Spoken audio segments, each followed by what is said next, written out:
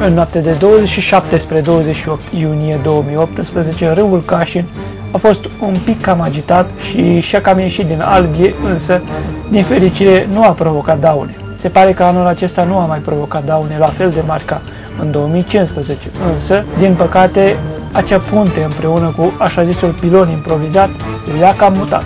Din păcate, cam așa se întâmplă aici de fiecare dată atunci când vine o apă mai mare. Să sperăm că autoritățile locale vor lua măsuri pentru remedierea problemei pe un termen mai lung.